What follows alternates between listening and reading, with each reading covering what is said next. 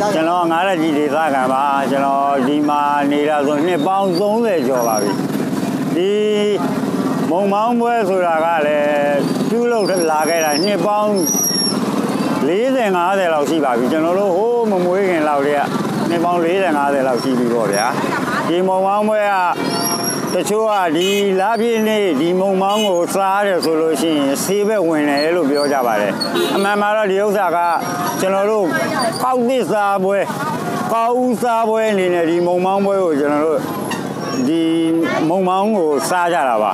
အဓိကကတော့ဒီသားပြင်းလေးစားလို့ရှိရင်တကယ်တမ်းလဲဆေးဘက်ဝင်ပါတယ်ခင်ဗျဟုတ်ကဲ့ဒီမှာလုံနေတာကတော့ဒါအစင်လာတစ်ခုလိုဖြစ်ပါဖြစ်နေပါလေဗျာအရင်တော့ကတော့လာကျွန်တော်တို့ဒါမီးထွန်းပွဲ ဆိုပြီးတော့ဒီပွဲတော်ကိုအရင်ဆုံးအရင်ဆုံးကျင်းပါပါတယ်နောက်မှတခါမုံမောင်းတွေကတခါလာပြီးတော့ရောင်းညချချဆိုတော့တဖြည်းဖြည်းနဲ့မီးထုံးပွဲနဲ့မုံမောင်းပွဲဆိုတာဖြစ်သွားပါတယ်ဒီနေ့ကတော့အသေးပေါင်း90ကျော်လောက်ရှိတယ်ဗျာမနေ့ကတော့40လောက်ရှိပါတယ်ဒီနေ့အသေးလေးတိုးတယ်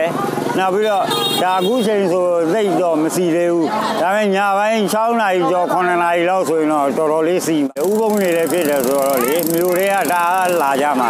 မြို့တွေနေမကဘူးမန္တလေးတို့ဘာတို့ကပါလာပြီးတော့ကားတွေနဲ့ပုံလာပြုတ်ပြီးတော့ဒီမှာမုံမောင်းဝယ်ကြစားကြရဲလို့